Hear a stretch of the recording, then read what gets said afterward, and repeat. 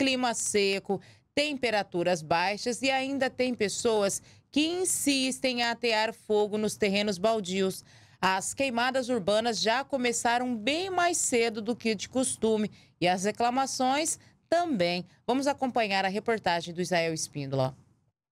Depois da chuvarada que causou muitos estragos em Três Lagoas, agora a população enfrenta outro problema típico desse período: os incêndios em terrenos baldios. Com o tempo seco, o mato rapidamente também seca e fica mais propício às queimadas, sem contar o lixo inflamável que é descartado de forma irregular nesses locais.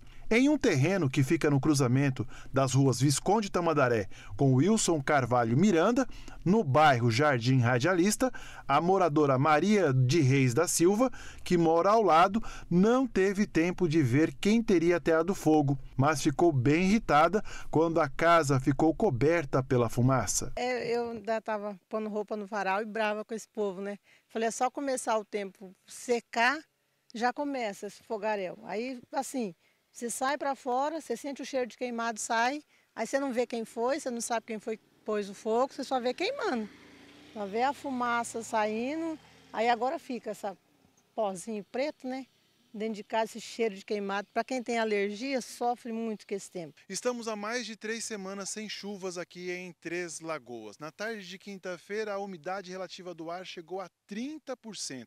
E esse clima seco favorece os incêndios em terrenos baldios. Um prejuízo para a saúde. Baixas temperaturas registradas em Três Lagoas, mais o tempo seco associado a essa fumaça, não tem sistema respiratório que aguente. Essa condição climática desfavorável causa o ressecamento das mucosas das vias aéreas. A moradora se queixa dos problemas e os riscos com a saúde. Eu tenho problema com alergia e eu fico assim à noite para dormir é ruim por causa do cheiro, fica dentro do quarto, aquele cheiro entra que aí não sai. Aí você fica nariz tampa, a garganta arranha, né?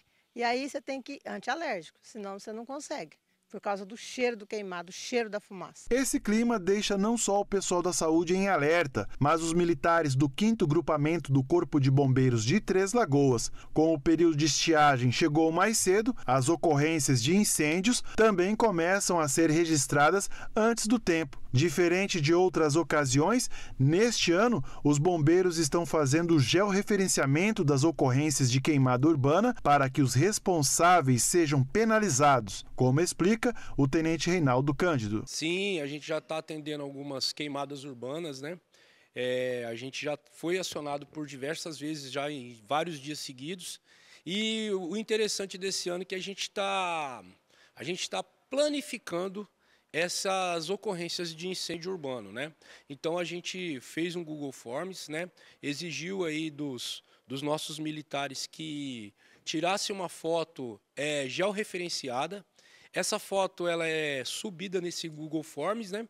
E a gente tem agora a foto do local, a gente tem o endereço, a gente tem quem atendeu e a ocorrência para passar para a Secretaria Municipal de Meio Ambiente. Vale lembrar quem ateia fogo em terreno baldio está cometendo crime ambiental e os autores, assim que identificados, serão responsabilizados criminalmente, como aponta o tenente do Corpo de Bombeiros. A Secretaria Municipal de Meio Ambiente ela tem todo o, o, o, assim, ela tem todos os argumentos aí para multar essas pessoas, né? Se identificado, se o vizinho lá fizer uma foto, fizer um vídeo, identificar, a Secretaria Municipal de Meio Ambiente multa porque é um crime ambiental. A Secretaria do Meio Ambiente pede para que a população contribua denunciando os autores que insistem em atear fogo, com vídeo e fotos. A população pode colaborar no enfrentamento às queimadas ao identificar algum morador atendo fogo em lixo, galhadas e terrenos com mato alto pelo telefone